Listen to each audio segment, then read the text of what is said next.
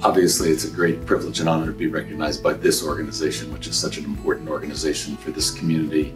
On a personal level, I'm on the board of United Abolitionists, which is a human trafficking organization, the One Pulse Foundation, which is obviously building the memorial after the One Pulse uh, shooting. I stepped down as the director of the DeVos Sport Management Program last year to focus all my activities on anti-racist work in the wake of the, mur- the murders that have taken place starting with George Floyd several years ago. So I'm trying to speak to organizations that I don't normally speak to that might not agree with my perspective. I do about 75 speeches a year, and it's usually to organizations that agree with me.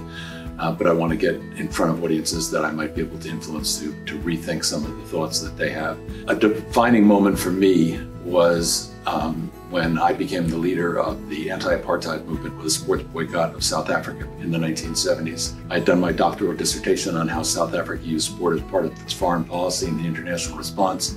I believe that sport has the power to unite communities in ways that other sectors of the community don't.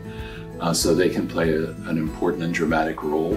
Thank you again for this amazing honor. I urge everybody in the audience today and everybody in the community to support United Way with the great work that they do, and it's so necessary now more than ever.